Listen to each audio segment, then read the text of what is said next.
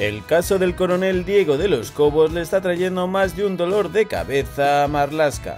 Hace tan solo unas semanas el Tribunal Supremo anuló el ascenso de tres generales de la Guardia Civil tras la denuncia de Diego de los Cobos por haber sido delegado de su puesto por orden de Marlasca.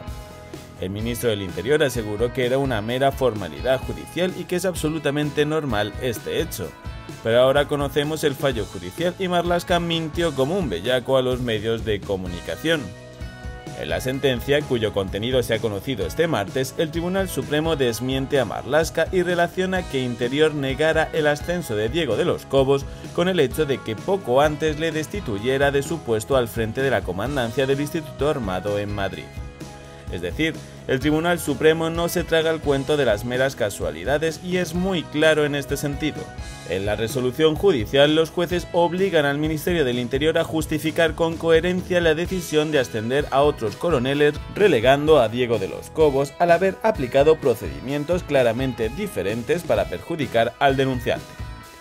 El Supremo advierte de que ese informe no puede hacerse al uso y debe cumplir con toda la normativa vigente, es decir, el director general debe hacer una valoración propia y posteriormente el Consejo de Ministros podrá decidir en base a ese informe si merece ese ascenso o no, dejando claro que no es una decisión única ni del ministro del Interior ni del Consejo Superior de la Guardia Civil. De esta forma, la justicia vuelve a dar un golpe a Marlaska y vuelve a demostrar que manipula las sentencias y la información que aporta a los medios de comunicación para beneficiarse públicamente.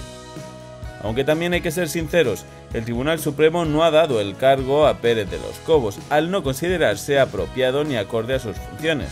Ha decidido ordenar que se siga el trámite normal, es decir, que el Consejo de Ministros lo decida en base a informes detallados de sus valías.